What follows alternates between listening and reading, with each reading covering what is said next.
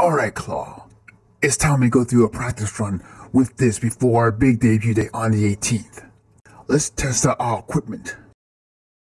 Okay, let me know when you're ready. Alright, let's start with the lights. Good, good. Now let's turn on the chat. Alright, now let's test out the lower thirds. Play the background music. Alright, sounds good to me. Looks like everything is in order for your debut. Yep, feels like everything is finally set to unveil all of our hard work this week. Oh, you think it was that easy, huh? Who is that?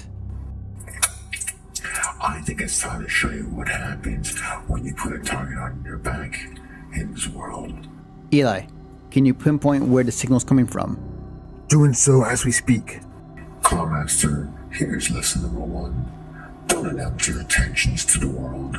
You might get someone who goes against what you stand for.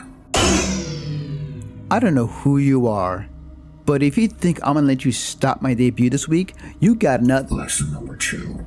Don't make threats to people who have more power than you. Eli, you okay? See what I mean? Consider this your only and final warning, Clawmaster.